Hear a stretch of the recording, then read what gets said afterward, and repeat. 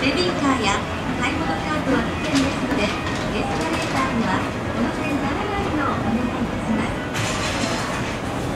またエスカレーターは大変危険ですので走ったりベルトから体を取り出したりしないようお願い申し上げます。いらっしゃいませ。